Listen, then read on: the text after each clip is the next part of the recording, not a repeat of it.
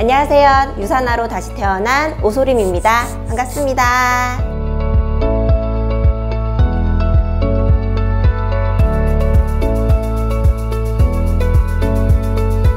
아이를 출산하고 육아를 하면서 산후 우울증도 왔었고 무기력함 그리고 나태함이 있었어요. 지인을 만나는 것도 부담스러웠고 그렇게 좀 많이 낮은 자존감으로 사회생활을 하기가 힘들었었는데 제 유산화 챌린지 28일 동안 정말 달라질 거야 이런 마음으로 도전하게 되었습니다.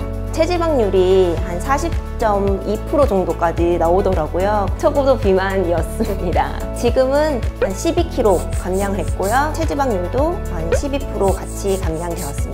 운동을 하면서 가장 많이 도움을 받았던 거는 active 미네랄 drink mix 이 음료가 입안도 개운하게 해주고 비타민과 미네랄이 많이 들어있기 때문에 운동을 하면서 지치거나 힘든 부분을 좀 빨리 보충해 주더라고요 그렇게 텀블러에 담아서 먹다 보니까 다른 사람들은 커피 마실 때 저는 티를 타서 먹는다거나 프로틴을 마신다거나 자연적으로 노출도 많이 됐고 또 구매까지 이어져서 성공적인 비즈니스 노출이 되었던 것 같습니다. 제가 춤을 좋아하다 보니까 첫 번째 줄에 서기 때문에 뒤에 한 네 줄, 다섯 줄까지 계시거든요.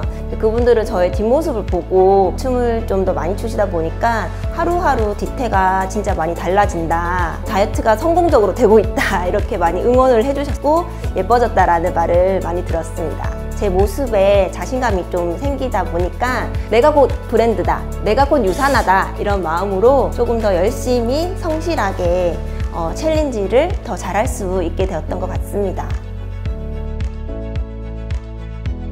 USANA 다이어트 challenge는 몸속까지 예뻐지는 private한 케어입니다.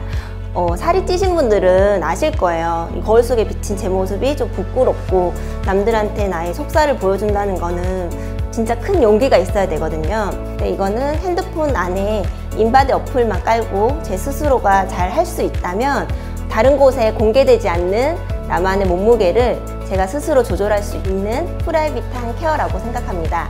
어, 여러분들도 다이어트는 내일부터 라고 미루지 마시고 당장 지금부터 바로 시작하시면 정말 저처럼 높은 자신감으로 예뻐진 새로운 삶을 사실 거라고 생각합니다. 오늘부터 예뻐지는 여러분들을 응원하겠습니다. 감사합니다.